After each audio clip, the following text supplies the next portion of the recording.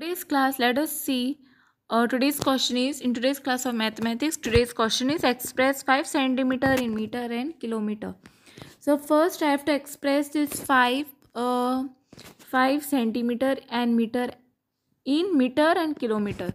So let us take first 5 centimeter is equal to 5 upon 100 meter which is equal to 0.05 meter now 5 centimeter I have to convert it into kilometer. So 5 upon 100 multiplied by 1000 kilometers. So it will be 5 upon 1 lakh.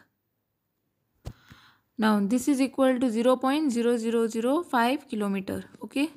In place of 5 the decimal point. So I hope you have understood how to convert or express 5 centimeter in meter and kilometers. Okay. I can take down this and I hope you have understood how to express 5 centimeter in meter and kilometer and thanks for watching.